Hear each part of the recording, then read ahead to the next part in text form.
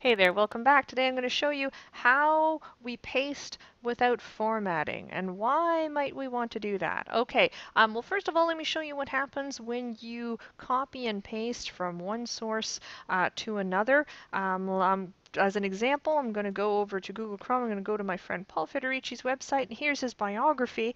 And let's say I'm working with Paul, and I want to copy his biography. Um, let's say I'm making a one sheet for him or something like that, uh, and I want to copy this information. Okay, cool. So it's on his website. That's no problem. I can just select all of this. I'm gonna. I'm on a Mac, so I can do Command C uh, to copy all of that. If you're on a PC, you would just do Control C. Uh, why don't I switch over to my LibreOffice here? I've got a document here. I'll move that out of the way. Okay, I've got an, a fresh document here, and if I just paste into here, okay, um, I'll do this manually. I'll go under Edit, Paste.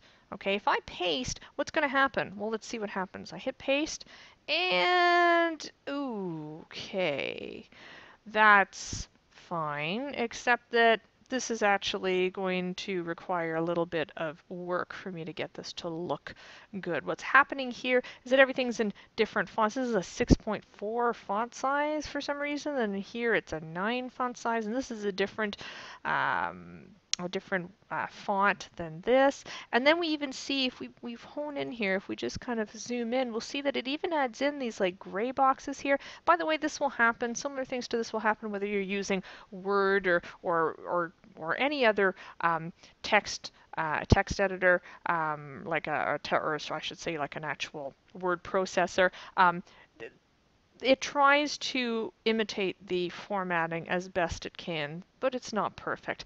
And I don't actually really want this to happen. I want to be able to format this myself. And this is going to be a whole lot of work for me to, you know, I could select all, but then I'm going to have to delete those those gray boxes and, and this image. I don't, I don't, I might not want it there, et cetera, et cetera. Okay, fine. Well, there is an easier way to do this. So why don't I undo this? I'm going to go Command Z to undo. There we go. We're back to just a plain document. And uh, let's see what we can do.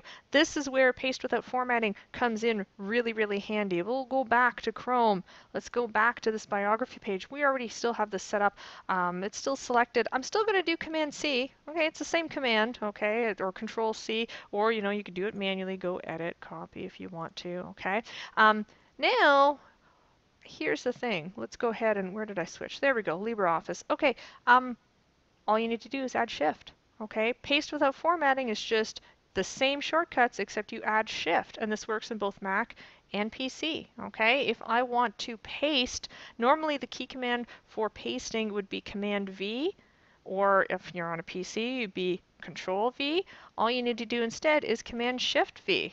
There we go. And then you get this little document, depending on what, what uh, application you're in. In this case, it says, oh, this is a paste special command. What do you want? Yes, I want it in unformatted text, please, not HTML. We'll go ahead and click OK. And there we go. There's all the information.